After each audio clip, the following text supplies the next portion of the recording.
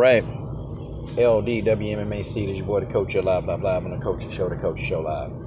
Okay, folks, a lot of the brothers, man, a lot of us, we are very, very split, okay? We're very, very split on the whole Marina Rodriguez situation. I mean, some of the brothers think that Marina should go ahead and take the fade. Some of the brothers think that, nah, you know, Marina need to go on and wait. Okay, a lot of us are split. A lot of us are split.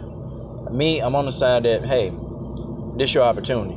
You better go ahead and take this fade now because you don't know if the opportunity gonna be there for you in September. I mean, you just don't know because you know right now she's not in the top three. And my whole thing is, you know, yeah, short notice fights can be tough on the body, and I, I get and I understand what the homie Combo Breaker 99 is saying. It's tough. It's tough on your body. Um, in this particular game of MMA, when you're not in the top three or even you know the top two, your opportunities are very scarce. They're very very scarce, and you literally have to take who they give you. Guys, that's that's MMA. That's WMMA in a nutshell. You have to take who they give you when you're that ranking. Like you don't have the, the afford a bit the luxury to say, hey, you know what? I want to wait and fight this person because let's just be honest, okay? When you up and coming in the UFC and when you when you're looking for it, when you're hungry, you'll take whatever fight they give you. And that's the thing. Pretty much until you are in the top three, you kind of have to take the fights as they come because you don't know if you're going to get the title shot. And I think that that's what people are missing. I, I, I acknowledge, you know, that short notice fights, they tough, man. They're real hard on your body. And it's just only so much that you can do. Um, and you can't do too many of those. I, I, I get that too. But your opportunity sits in front of you. Because I'm gonna tell you something, man. If they go ahead and give Mackenzie Dern another opponent in July, if they go ahead and do that, and they, they don't give her the give her the uh, the bout, and then she go and fight somebody else in September, okay, she go and fight somebody else, or they don't have an opponent lined up for her in September like she won, it could be bad. Because what if in September they don't give you Bojangles? What if they don't do that? Because that's who she want to fight. And, and guys, let's, let's just be real. If this short notice fight was against Bojangles, she would take the fight. She would she would take it in a minute. She'd do it in a minute because stylistically, she knows that Bojangles won't be a ground threat. So uh, she'll take the fight. See, she's not fooling me. She's not putting the wool over my eyes. She ain't fooling me whatsoever. We know that she would take that Bojangles fade. Like she she she fight Bojangles tomorrow. Thing of it is though, you don't know when your opportunity is going to get there. And let's just say, let's just say, you know, hey, they don't they don't give a Bojangle check. Let's say if they give us somebody else. Hell, let's say if they throw uh, that damn savage, that beast, who down there at the bottom, but we know that she better than what she is. Let's just say they give Taila Santos an opportunity of a lifetime. Do you think Marina Rodriguez is gonna be happy about fighting Taila Santos? I, I, I can tell you she won't be. I, I know she won't be happy about that. See, you may you may get the you know delay the inevitable for a while. But then when you get to september if they give you a fight and i'm gonna tell y'all if she don't fight in september i can tell you now the ufc like mm, nope. If she don't fight till september it's a wrap. See here it is now. She turned this fight down may. So okay. Realistically the way the ufc operates sometimes when they get upset with people and it depends now. It depends on the relationship you have with the UFC. It really does depend, but they reserve the right. But here it is: May, June, July, August, September, October. Hey man, if we don't if we don't see her fight until November, you know what happened. If Marina Rodriguez don't fight until November, you know what happened. I don't I don't know. I, I don't suspect that they'll keep her on the shelf till November. I don't think they'll do that. Um, they'll give her somebody else. But my whole argument, my point is, look, you might get somebody worse than Mackenzie Dern Bojangles, and that's the chance that she's gonna have to take. Because guess what? She's training as if like, okay, well, I'm not ready for Mackenzie Dern now. Well, how the hell you how the hell you know if you're gonna get Mackenzie Dern in September? I mean, I don't know. Do you think Mackenzie Dern is gonna wait? She's probably not gonna wait, and she's probably gonna take the next fight because Mackenzie sees it as, hey, you know what? I'm getting close to the title. Um, let me go ahead and take me another fight to go ahead and get this title shot down. Like Mackenzie Dern's mindset is totally different.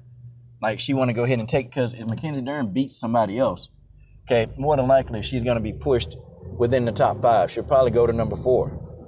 She'll probably go to number four. Okay.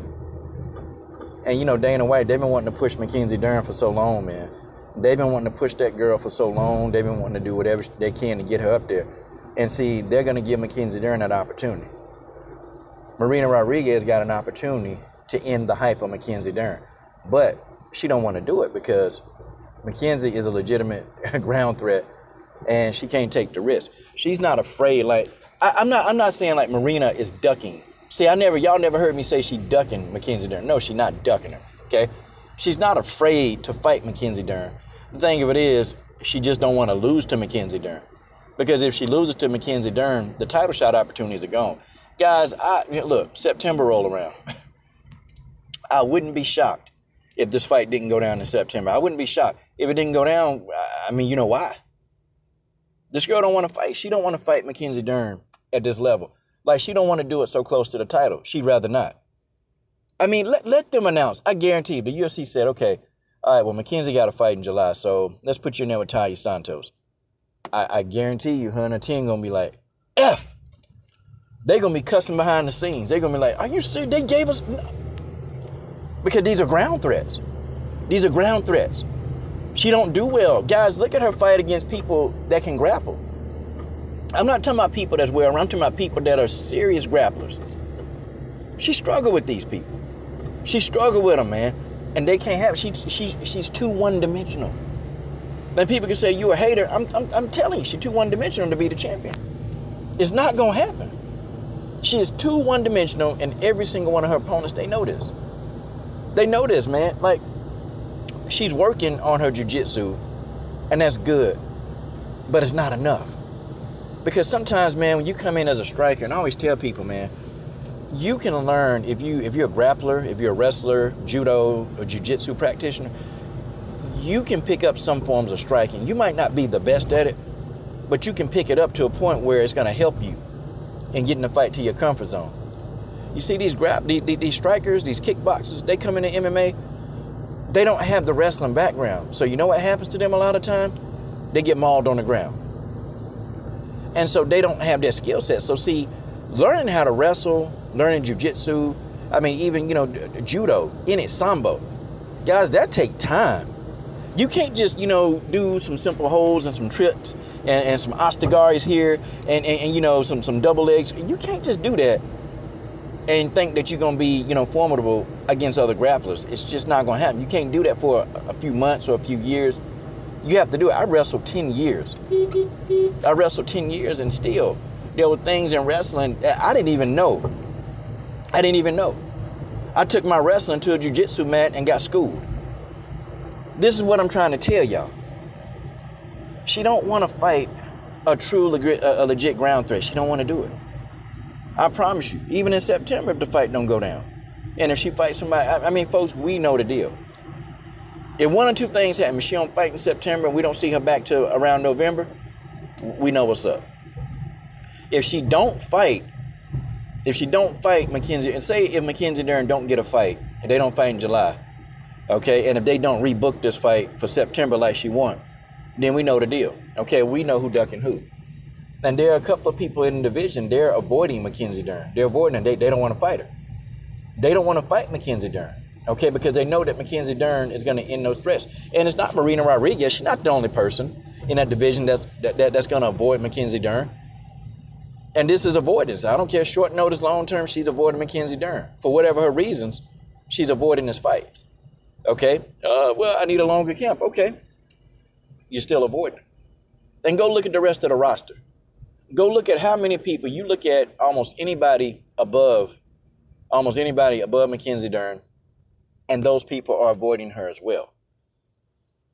Guys, I'm just telling y'all, there's a reason why the UFC not announcing certain fights. Because, you know, they would have loved to put Mackenzie Dern in there against probably the number two or the number three ranked opponent.